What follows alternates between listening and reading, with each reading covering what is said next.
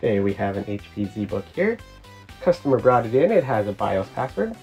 They contacted HP, which normally they would give you an SMC bin file, you load it on a USB, and you can remove the password. But they no longer offer this, saying it's for security, and they tell you to go buy a new one or replace the motherboard. That's not cost effective, so the alternative is what we're going to do today. First off, we're going to boot it up, get into the BIOS here, which would be F10. And you'll see there's three users set up. We just try to get in the admin, and there's a password. So you're not able to get into it, you're not able to reload Windows, uh, anything like that. So, shut it down, close it up, remove the power. Now we're gonna flip it over, pop off the cover. We're also gonna wanna remove the battery here. Simply pops out like that. And the next step, we're gonna have to find the BIOS chip, which is right here. And now we're gonna go through removing the chip, reprogramming it, and reinstalling it. Alright, so the next step here, we gotta remove the BIOS chip. So I usually take my flux, put a little bit uh, on each of the legs. This keeps it from oxidizing while you're soldering.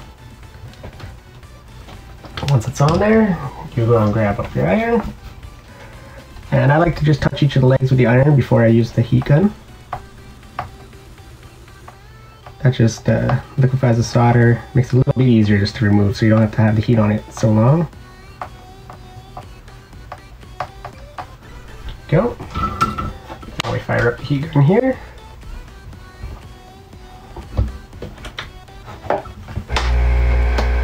Typically set it to about 380 and now you just apply heat to it evenly. Smoke is just the flux burning off. Just gently touch. Gently touch the chip, see if it's ready. And you'll, you'll start to see the solder turn kind of silvery, and that means it's hot enough, and you should be able to just lift it off. Now that we've lifted our chip off, I go and take a little bit of uh, desoldering braid. Just clean up the legs a little bit because there's excess solder. That was help to remove it. All clean here. Sound that very well.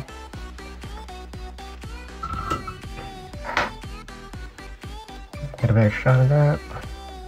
There you go. There's our chip. Now we take it, stick it into our programmer here. So just press down, make sure the dot is at the top top corner.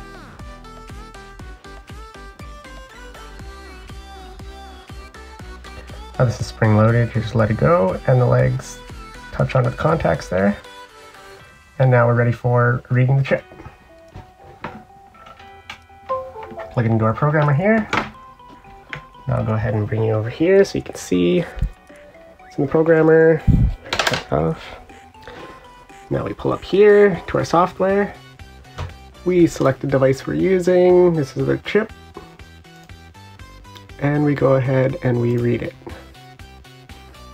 Reading the chip, this usually just takes a couple seconds. And once we do this, we're gonna wanna read it two or more times, minimum two.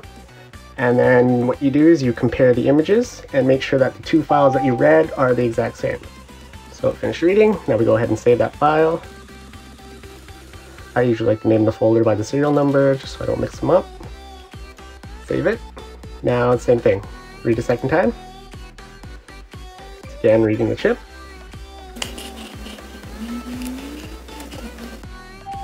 There we go. Now we're going to save that as dump number two.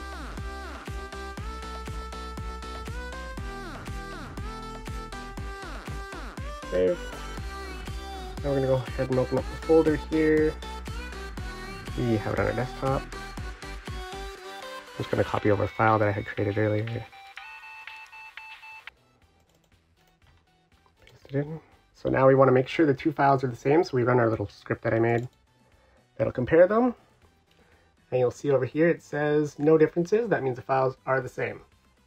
Alright, now I'm going to go ahead and show you how we remove the password from the BIOS dump that we just made. So we open up our file here. This is the one I just dumped. Let's open up one of them. Now from here, you're gonna go edit and you're gonna find. Now we're going to look for the string called BIOS user 00. Search for it, and it's found here. So now we can see BIOS administrator, and all this up to the letter U is the actual password that's currently set on the BIOS. So all we have to do is go here and set all of this to zero. This will clear out the password. Everything just before the dot before the U.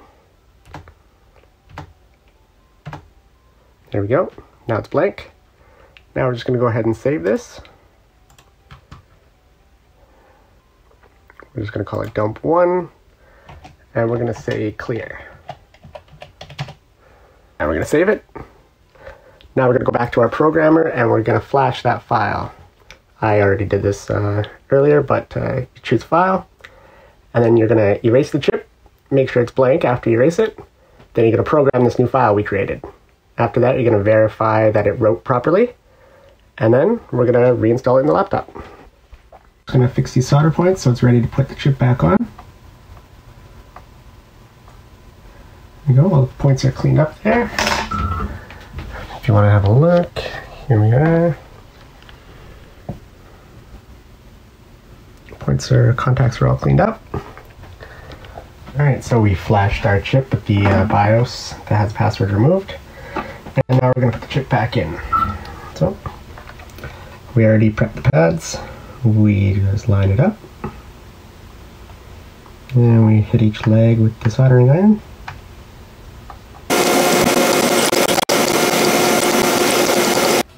Alright, should be good. Now, we can go ahead and flip it over. Hook up the power.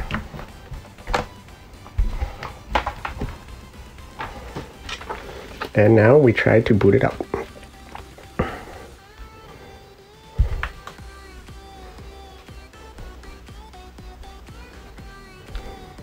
Now we go into the BIOS. Hit administrator, and we're in. No more password. Now we can even go down and remove those other users that we don't need.